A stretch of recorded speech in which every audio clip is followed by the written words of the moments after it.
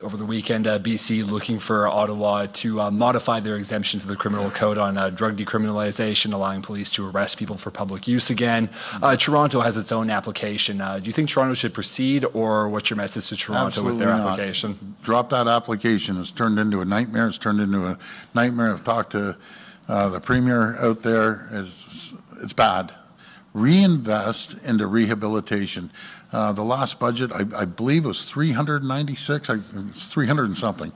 Uh, to reinvest into treatment centers, into health, mental health, and addiction. That's what we should be doing, not legalizing hard drugs. Uh, like you got to be kidding me uh, like letting people do cocaine and crack and heroin. You got to be kidding me. I will fight this tooth and nail. This is the wrong way to go. It's proven. Even in the U.S., they're rolling it back. I think it's Oregon, isn't it? That, that is rolling it back as well.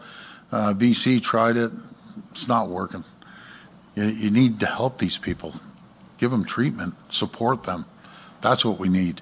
Not say, here's some more drugs to take. I sometimes I wonder where people's brains are. I, I really do. It's unbelievable.